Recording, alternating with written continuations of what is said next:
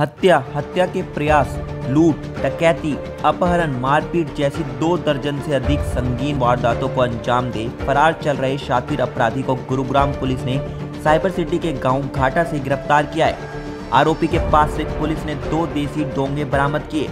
इतना ही नहीं, आरोपी पहले कई मामलों में जेल की हवा खा चुका है। और पैरोल पर जेल से आने के बाद से फरार चल रहा था। एसीपी क्राइम की माने तो सेक्टर 10 क्राइम यूनिट को सूचना मिली थी कि एक व्यक्ति गाँव घाट के पास अवैध हथियारों के साथ घूम रहा है। इस सूचना पर पुलिस टीम मौके पर पहुँची और छापा मारकर अवैध हथियारों के साथ घूम रहे व्यक्ति को काबू कर लिया। ये एक बिशंबर उर्फ़ पहलवान है, बालियावास गाँव का रहने वाला है। इस व्यक्ति पे दो दर्जन के करीब के क्रिमिनल केस चल रहे हैं। हत्या हत्या के प्रयास, लूट, डकैती किडनैपिंग लड़ाई झगड़े, इस तरह के दो दर्जन मामलों में ये शामिल रहा है और बड़े चर्चित हत्याकांडों में ये शामिल रहा है पहले और लगभग सत्रह, अठारह साल से क्राइम की दुनिया में शामिल है। और अदालत से कई मुकदमों में इसको पीओ डिक्लेयर कर रखा है।